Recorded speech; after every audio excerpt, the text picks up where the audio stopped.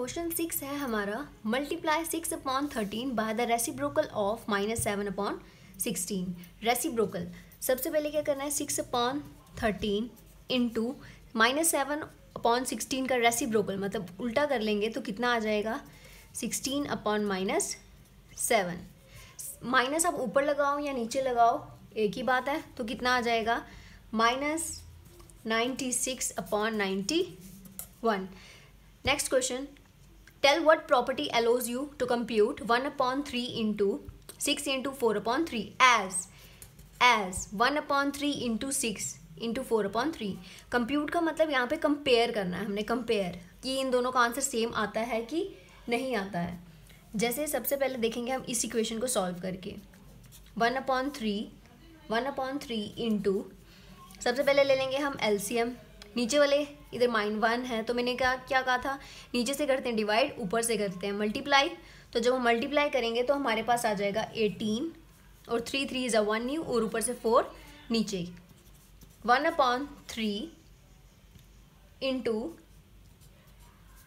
seventy two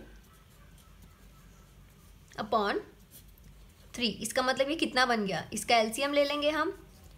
Seventy two upon three three one ज़ा, two ज़ा six, one carry और four ज़ा twelve. तो इसका हमारे पास आ जाएगा ट्वेंटी फोर। अब इसका सॉल्व करके देखो, one upon three into six है। तो हमारे पास सबसे पहले हम क्या करेंगे? हम इसमें क्या करेंगे? पहले एलसीएम ले लेंगे। एलसीएम। थ्री थ्री ज़ा तो ऊपर वन ही रहेगा। इंटू करेंगे जब यहाँ वन होगा, थ्री। और थ्री आ जाएगा हमारे पास डिवाइड करके और उसको सिक्स से हम कर देंगे मल्टीप्लाई। तो सिक्स थ्री ज़ा होता है eighteen into four by three. इस कैल्शियम ले लेंगे। थ्री, एटीन इंटू फोर आ जाएगा। कितना होता है? Seventy two upon three. तो इसका आंसर भी हमारे पास आ जाएगा seventy to.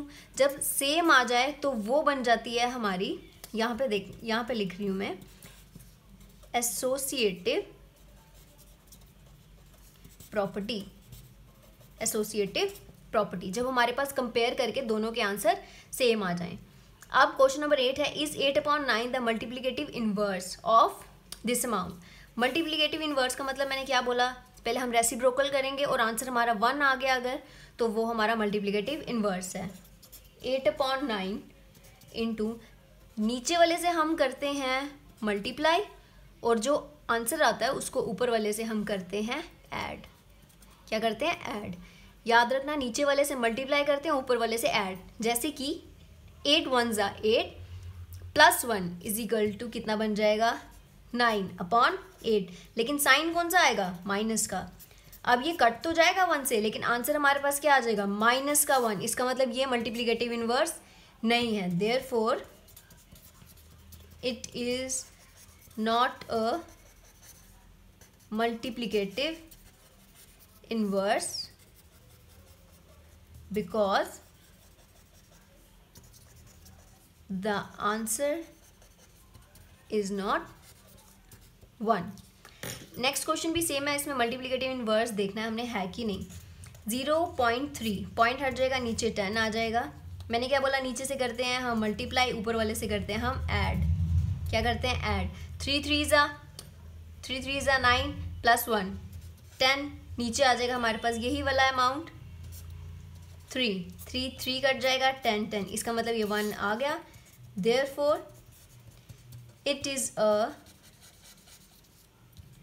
multiplicative inverse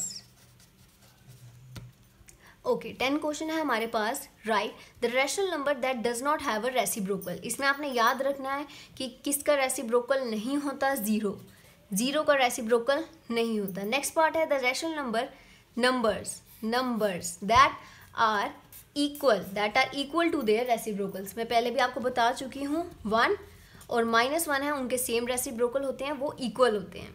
Third part the rational number that is equal to its negative zero एक ऐसा रैशनल नंबर है जो कि इक्वल होता है टू इट्स नेगेटिव इक्वल होता है टू इट्स नेगेटिव ओके कुछ फिल इन द ब्लैंक्स हैं। फ़र्स्ट है ज़ीरो हैज़ डैश रेसिप्रोकल्स अभी बताया मैंने no zero has no reciprocal zero का कोई रेसिब्रोकल नहीं होता. ज़ीरो पॉइंट वन नहीं हो सकता. ज़ीरो पॉइंट फोर नहीं हो सकता. The numbers dash and dash are their own reciprocals own reciprocals किसका आएगा? माइनस वन एंड वन उनके सेम रेसिब्रोकल होते हैं, वो अपने ही रेसिब्रोकल होते हैं. The reciprocal of minus five मतलब उल्टा कर दो, इसका क्या बन जाएगा? One upon minus five reciprocal of one upon x where x जो है एक्स जो है is not equal to zero equal नहीं होगा. इसका मतलब ये बन जाएगा एक्स ही खाली. एक्स ही आएगा ऊपर रेसिप्रोकल करके. The product of two rational numbers is always a rational number